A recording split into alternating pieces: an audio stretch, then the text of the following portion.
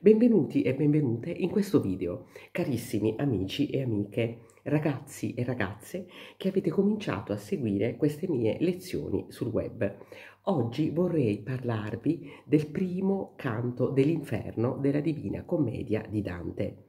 Allora, come sappiamo, eh, il termine commedia non è stato eh, ehm, dato da Dante stesso all'opera, perché l'opera si chiamava inizialmente Commedia Dante inizia quest'opera nel 1307 e probabilmente eh, la condurrà sino alla fine eh, della sua vita.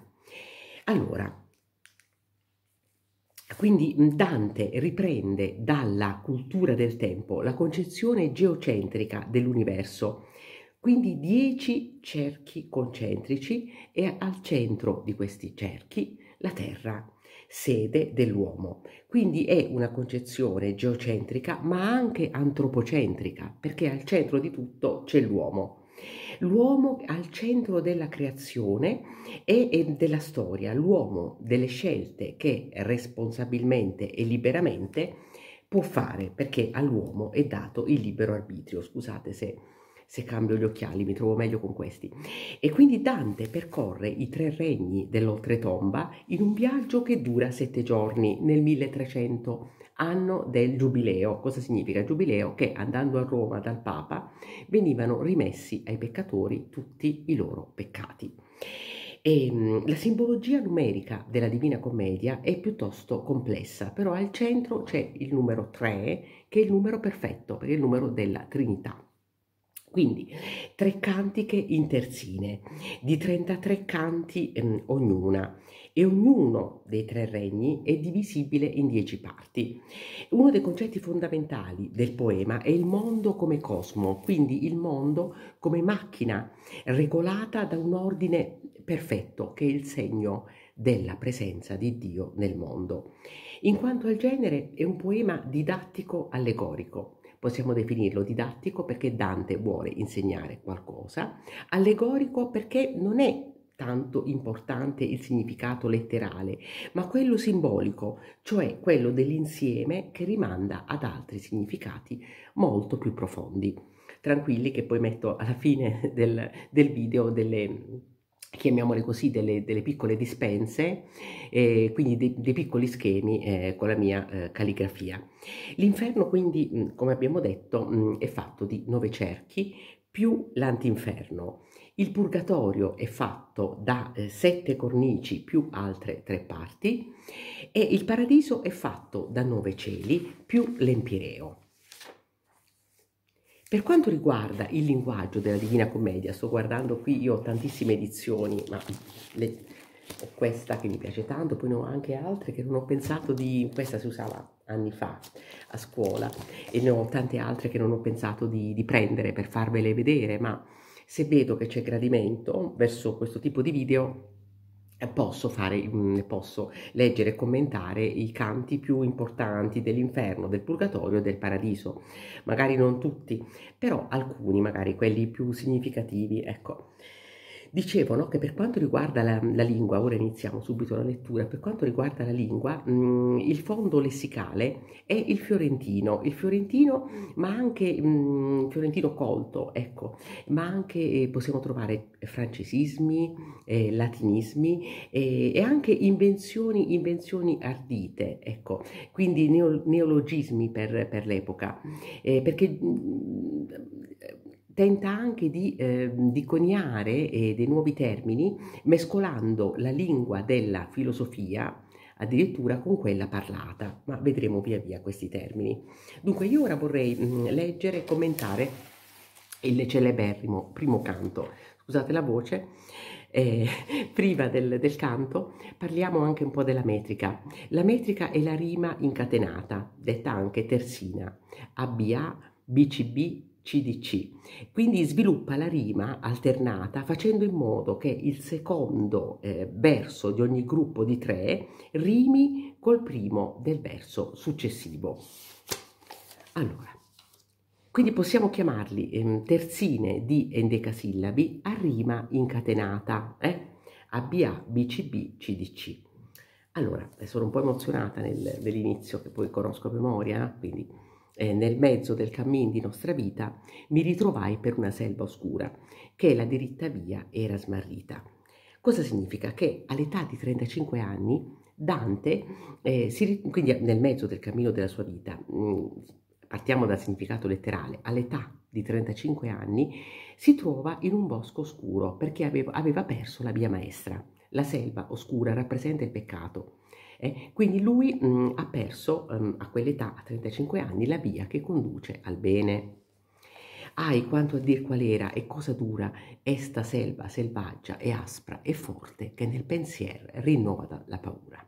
Quindi dire dettagliatamente cos'era questa, questa, selva è difficile, hm? perché era una selva mh, intricata, una selva intricata, e aspra, e selvaggia, tanto che soltanto a pensarci la paura si rinnova nel suo animo. Tante amara che poco più è morte, ma per parlare del ben che vi trovai dirò delle altre cose chi vo scorte. Ecco, è così amara, è così mh, dolorosa da attraversare che la morte lo è poco, poco più. Ma per parlare del, anche di qualcosa di positivo che lui vi ha trovato, racconterà altre cose che lui ha visto. Non so ben, ben ridir come ventrai, tant'era pien di sonno a quel punto che la verace via abbandonai. Lui non sa ben dire come vi è entrato nella selva che rappresenta il peccato, perché quando ci avviamo per strade non, diciamo, non, non, moralmente non troppo accettabili, non sappiamo neanche noi come ci ritroviamo in quelle strade, no? Tanto lui dice, mh, mm, ero in quel punto intorbidito da, dal sonno, dal sonno dell'anima, mh, nel momento in cui ha abbandonato la verace via, cioè la via che conduce al bene. Ho girato due pagine insieme. Ma poi chi fui al piede un colle giunto laddove terminava quella valle che m'avea di paura il cor compunto, guardai in alto e vidi le sue spalle vestite già dei raggi del pianeta che mena dritto altrui per ogni calle. Eh? Quindi adesso Dante, mh, uscito dalla selva, vede un, un, monte, un colle, le cui pendici sono illuminate dai raggi del sole, che rappresentano la grazia di Dio, quindi questo elemento positivo eh, all'uscita dal peccato, perché quando eh, si sta per uscire da una situazione incresciosa che ci ha condotto a fare azioni riprovevoli, c'è no, la possibilità di, di, prendere la retta via, la capiamo, e lui lo capisce vedendo questo monte illuminato, per l'appunto dal sole. Cioè, ma dopo che fui arrivato ai piedi di un colle, dove terminava quindi eh, la valle che mi aveva afflitto il cuore di paura, guardai in alto e vidi, mh, mm, vidi le, le, sue pendici, le pendici del colle, inondate dai raggi del pianeta, cioè dal sole, che conduce gli uomini direttamente per ogni via, mm, per la via che conduce al bene. Allor fu la paura un poco queta che nel lago del cor m'era durata la notte chi passai con tanta pietà. Allora si calmò la paura che mi era durata nel lago del cuore, cioè nel profondo del cuore, durante la notte che avevo passato con tanta angoscia. E ora c'è una similitudine bellissima, eh? la similitudine è introdotta da come, così, quindi primo e secondo termine di paragone. E come quei che con lena affannata, uscito fuor del pelago alla riva, si volge all'acqua perigliosa e guata, così l'animo mio che ancor fuggiva si volse al retro a rimirar passo che non lasciò giammai persona viva. E come mh, mm, un naufrago che mh, mm, scampato dal mare mm, e giunto a riva con respiro affannoso si volge verso l'acqua insidiosa, perché perigliosa vuol dire insidiosa, pericolosa, e la scruta, la guata, la scruta, così il mio animo che ancora fuggiva si rivolse indietro a osservare il passaggio, cioè la selva, il peccato che non lasciò giammai sopravvivere nessuno. Poiché posato un poco il corpo lasso, ripresi via per la piaggia diserta, sicché il più fermo era il più basso. Quando ebbi riposato un poco il corpo stanco, allora ripresi a camminare per, ehm, per la spiaggia deserta. Mm? E, ehm, sicché il piede, così, che il piede che stava fermo era sempre quello più basso. Quindi cosa vuol dire? Che stava salendo. Mm? Sì, quindi piaggia, scusate, non è spiaggia ma pendio, a volte sbagli- sbagliamo anche noi, quindi per il pendio infatti mi sembrava, per il pendio, quindi ripeto, dopo che ebbi riposato un poco il corpo stanco, ripresi a camminare per il pendio deserto, eh? perché le piagge sono, sono anche pendii eh, in lingua toscana. Hm? Quindi ripresi a camminare per il pendio deserto in modo che il piede, che stava in, il piede d'appoggio era quello più basso, quindi stava salendo. Ed ecco quasi a cominciare dell'erta una lonza leggera e presta molto, che di pel macolato era coperta, e non mi si partia dinanzi al volto, anzi mi impediva tanto il mio cammino, che io fui per ritornare più volte volto. Ed ecco al cominciare della salita, l'erta e la salita, una lonza leggera. Mm, la lonza mm, è un animale che adesso non, non, c'è più, è un animale che adesso si è estinto e mm, praticamente possiamo raffigurarlo come l'attuale ghepardo. Ecco. Quindi una lonza leggera e veloce, presta vuol dire veloce, che era coperta di pelo chiazzato mh? e non, non, andava via dal mio volto, anzi mi impediva tanto di camminare, impediva tanto il mio cammino, che io fui tentato più volte di tornare indietro. Quindi vedendo questo animale e quindi questo ghepardo, Dante pensava di tornare indietro. Tempera dal principio del mattino. Adesso arriviamo in uno dei passi più difficili. Mm, l'inferno è la cantica meno difficile fra le tre quella più amata da, dagli studenti e quella più famosa. Però ci sono dei, dei, dei pezzi, ci sono dei, diciamo, dei versi che mh, danno adito a, a, diverse interpretazioni, ecco, o sono particolarmente complicati. Eh? Fino adesso tutto liscio, eh? di solito, ragazzi queste, questa parte qua, eh, ah, che bello, che bello, che bello, poi arrivano questo, in questo pezzo qua che è un po' complesso, perché c'è di mezzo anche un po' d'astrologia. Quindi tempera dal principio del mattino e il sol montava su con quelle stelle che erano con lui quando l'amor divino mosse di prima quelle cose belle. Sicché, a ben sperar mera cagione, di quella fiera alla gaetta pelle, l'ora del tempo e la dolce stagione. Ma non sì che paura non mi desse la vista che m'apparve d'un leone. Eh?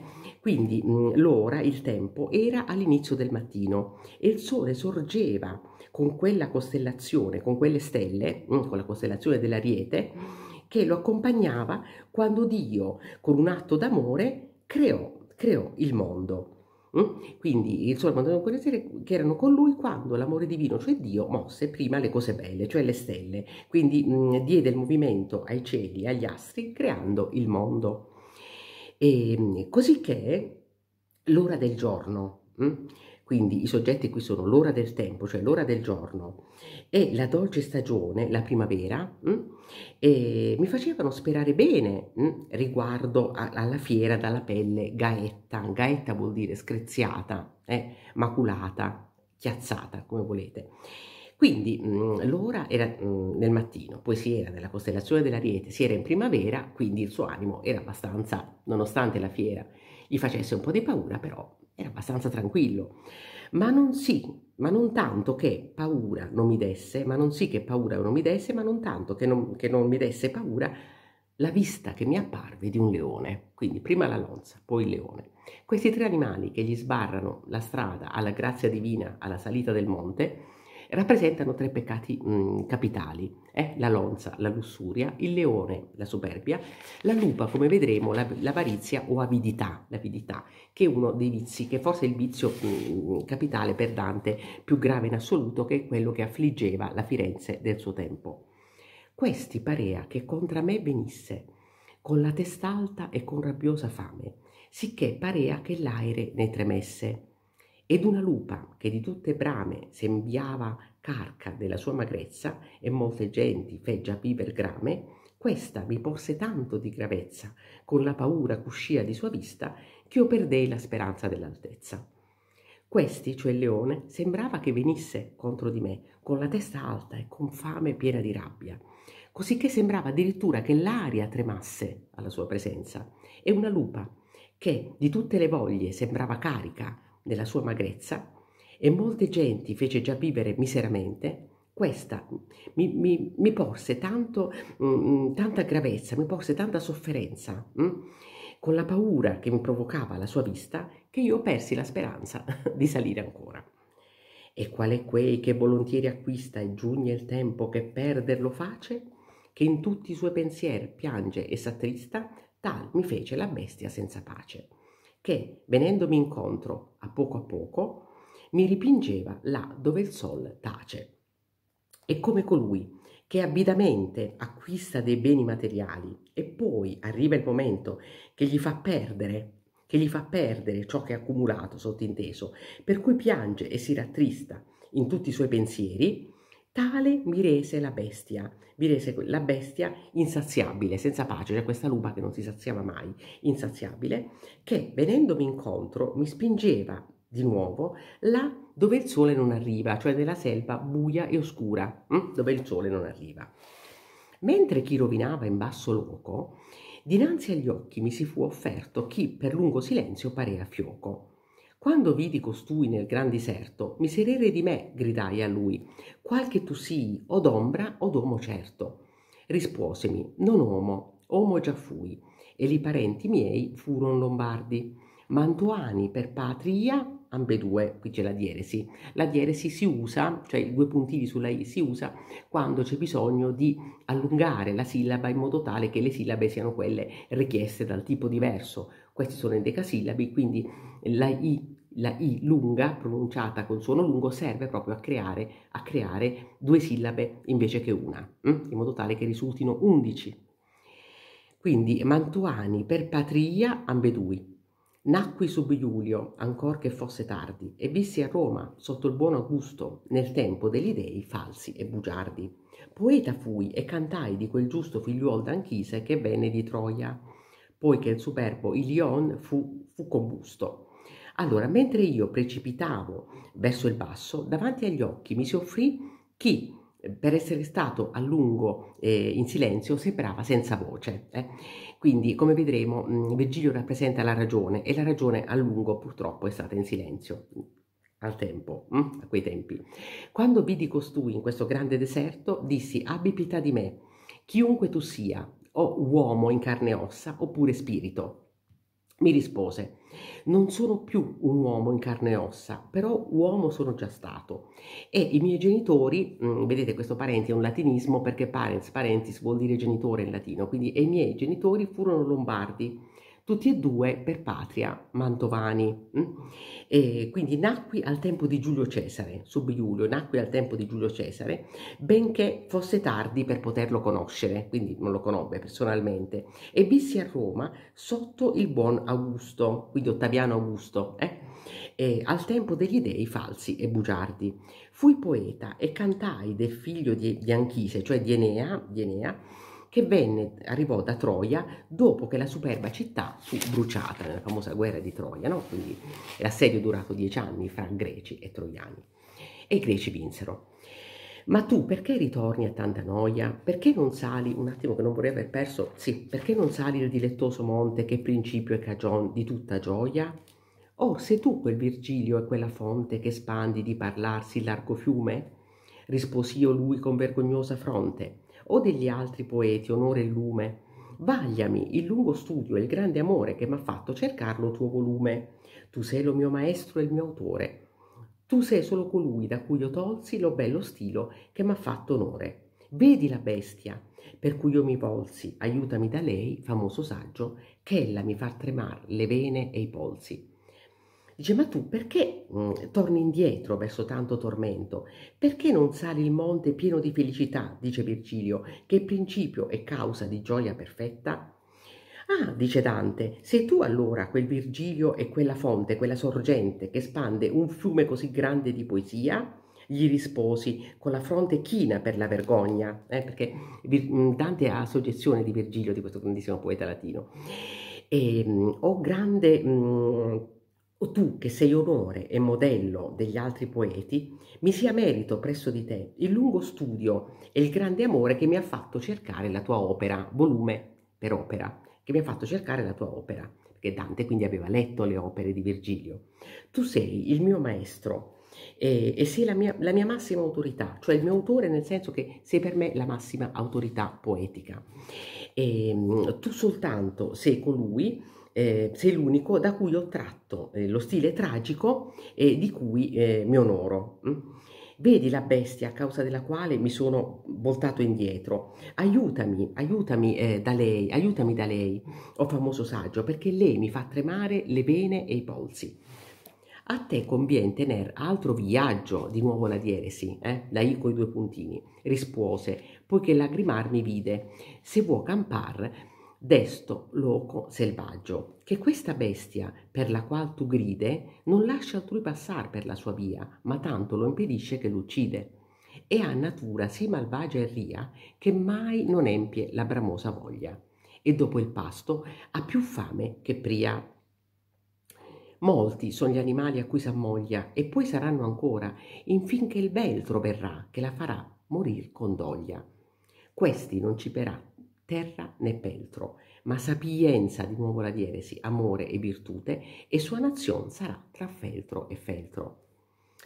A te conviene tenere un altro cammino, gli dice Virgilio, dopo che mh, mm, mi vide mm, lacrimare, se vuoi uscire vivo da questo luogo selvaggio, perché questa bestia, a causa della quale tu stai gridando, e non lascia passare nessuno per la sua strada, ma tanto lo ostacola, lo impedisce, lo ostacola e, da, da, ucciderlo. Ed è di natura così malvagia e perfida, a natura sì malvagia e ria, così malvagia e cattiva e perfida, che non riempie mai la sua bramosa voglia, che non giunge mai a sazietà, a saziarsi, ecco, non sazia mai la sua voglia, la sua abilità. E dopo il pasto ha più fame di prima. Hm? Molti sono gli animali ai quali si accoppia eh? e ancora di più lo saranno finché arriverà il veltro, il veltro era un cane da caccia, che la farà morire dolorosamente. Mm? Ora, per veltro, ehm, quindi questo è il significato letterale, il significato metaforico, allegorico, invece sarà un papa, un imperatore, che farà in modo di, mm, di porre un freno all'avidità eccessiva dei cittadini di Firenze. Va bene? Allora, questi non, mm, questi non, si ciberà né di terra né di moneta. Il peltro era la lega di metallo con cui si facevano le monete anche. Costui non si ciberà né di terra né di moneta. Quindi non, non sarà avido di dominio né di ricchezza, ma si ciberà di sapienza, di amore e virtù. E la sua nascita, nazione nel senso di nascita, sarà tra gente umile, perché il feltro era un panno umile, hm? era un panno umile, quindi un panno di scarso valore di quella umile Italia, fia salute, per cui morì la Vergine Camilla, Eurialo e Turno e Niso di Ferute. Questi la caccerà per ogni villa, finché l'avrà rimessa nell'inferno la onde invidia prima di partilla. Ond'io per lo tuo me penso e discerno che tu mi segui, e io sarò tua guida, e trarrotti di qui per loco eterno ove udirai le disperate strida, vedrai gli antichi spiriti dolenti, che la seconda morte ciascun grida. E vederai color che son contenti nel fuoco, perché speran di venire quando che sia alle beate genti, alle quai poi, se tu vorrai salire, anima fia a ciò più di me degna, con lei ti lascerò nel mio partire, che quello imperador che lassù regna, per chi fu ribellante alla sua legge, non vuol che in sua città per me si vegna. Allora, egli, quindi quest'uomo, sarà la salvezza di quella misera Italia, per la quale morirono per le ferite la Vergine Camilla, Eurialo e Niso, che sono eroi dell'Eneide di Virgilio. Questi, cioè egli, quindi un papa, un imperatore, la caccerà, um, gli darà, darà la caccia, l'avidità per ogni città, finché non l'avrà ricacciata nell'inferno eh, là da dove la mandò per il mondo l'invidia di Lucifero.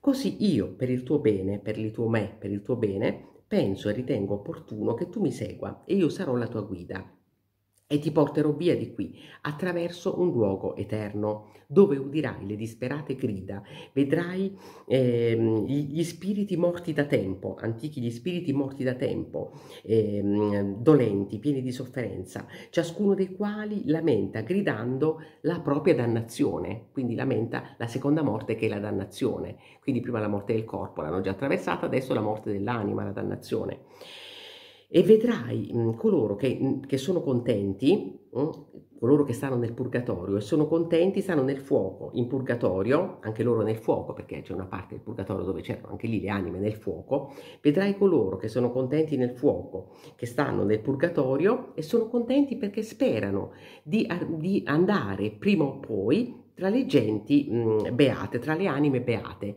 sperano di salire in paradiso, perché dal purgatorio, scontata la pena, poi andavano in paradiso. Tra le anime beate, alle quali poi, se anche tu vorrai salire, se anche tu vorrai andare poi a trovare le anime del paradiso, ci sarà una, una guida più degna di me, con lei ti lascerò quando andrò via, quando andrò, quando andrò via. Perché? L'imperatore che regna lassù, cioè Dio, poiché io fui ribelle alla sua legge, ehm, ribelle qui mm, fino a un certo punto perché mm, Virgilio mm, era nato ed era vissuto prima della venuta di Gesù Cristo, in questo senso, infatti lui sta nel limbo, sono le anime dei non battezzati. Quindi, ehm, poiché quell'imperatore che lassù regna, cioè Dio, per il fatto che io... Ehm, sono stato ribelle mh, alla sua legge, io non seguì la sua legge, ecco, non, non, non, la poteva seguire assolutamente, no? Per il fatto che io non seguì la sua legge, non vuole che io entri nella sua città, cioè nel paradiso. Mm. In tutte parti impera e qui vi regge, qui vi è la sua città e l'alto seggio. O felice colui cui vi elegge, e io a lui, poeta, io ti richeggio per quello Dio che tu non conoscesti, a ciò che io fugga questo male peggio, che tu mi meni là dov'or dicesti. Si chioveggia la porta di San Pietro e color cui tu fai cotanto mesti. Allor si mosse e io li tenni dietro. In tutte le parti governa e qui regna, quindi governa dappertutto, però regna nel paradiso. Questa è la sua città e questo è il suo trono. Oh, felice, felice colui che egli vi destina, cioè colui che è destinato a stare anche lui in paradiso. Proprio si sente il desiderio di Virgilio di poter accedere al paradiso, desiderio che rimarrà insoddisfatto, incompiuto. E io a lui, poeta, eh, io ti richiedo, in nome di quel Dio che non hai potuto conoscere, eh, affinché io fugga questo male eh, da cui sono afflitto e la dannazione, eh, ti prego che tu mi meni, che tu mi conduca, il verbo menare vuol dire condurre, eh? In linguaggio medievale, che tu mi conduca là dove hai appena detto, così che io veda la porta di San Pietro, cioè la porta del purgatorio, e, mh, mm, e coloro cui tu fai cotanto mesti, e, e coloro mh, mm, che tu ehm, raffiguri come anime tanto tristi. Allora si mosse Virgilio e io gli andai dietro. Allora, il canto è finito spero abbiate gradito eh, questi minuti, que tutti questi minuti sono eh, 20, 27 minuti. Grazie a tutti coloro che sono arrivati alla fine di questo, di questo, di questo video. Eh, questo canale era nato con altri intenti, cioè nell'intento di raccontare la mia vita quotidiana, però anche queste lezioni fanno parte della mia vita quotidiana. Un bacio a tutti e grazie.